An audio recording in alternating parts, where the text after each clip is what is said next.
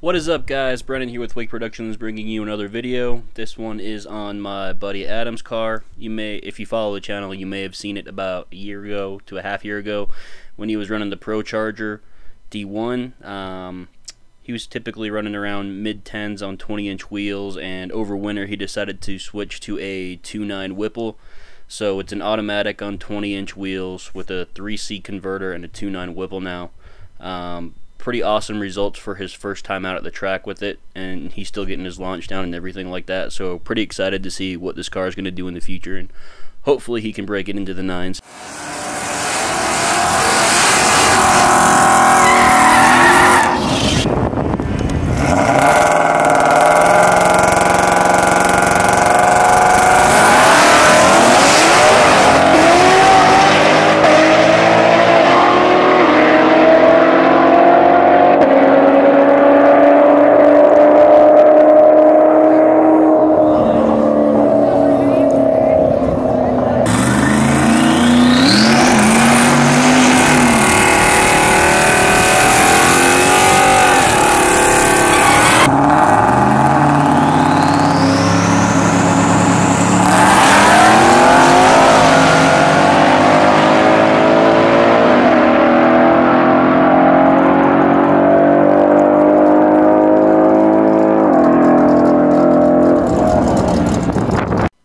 So his first time out, he was able to run consistently in the low tens, and for those unfamiliar, up here at Bandimere, right, I think this day was around like a 7,000 to 7,500 foot DA, and it was pretty nice out. So it's only going to get worse weather-wise from here. But taking a look at his time slips, um, he's got a little bit of work to do on his 60 foot.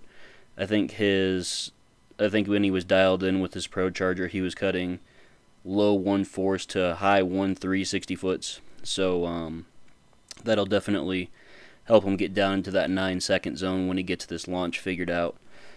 Um, it was really really impressive to see that a brand new combo could come out here and do that, and it's a relatively simple combo too. So uh, it's a video, quick this time, but um, if you guys want to see more content like this, be sure to subscribe and uh, give a thumbs up if you liked it, thumbs down if you didn't, and y'all have a good day.